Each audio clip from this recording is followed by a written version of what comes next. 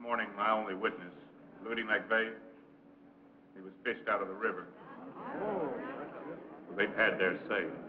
Seems like they've had that kind of say around here for too long. Look, I had to stand up for myself alone. I didn't go in to rob any gambling house with just a stick. I went in there to remind them that somewhere in this world there's still a little or- order left. To let them know in the only kind of terms that their kind understand is that they can't buy, bribe, or threaten their way out of what they did to me. They did this. You're out of order! You're out of order! You're out of order! Stop it right now. Stop him. Your Honor, state objects to it. You let them do this to me and get away with it, and you give them the eternal right to do the same damn thing to any one of you.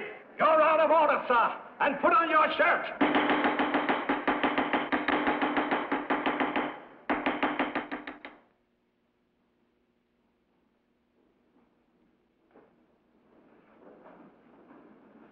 They've only been out less than five minutes.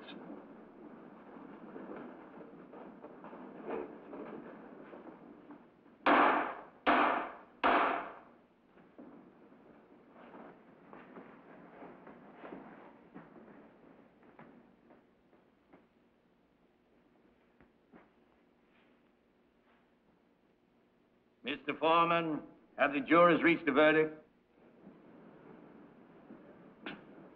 Not guilty.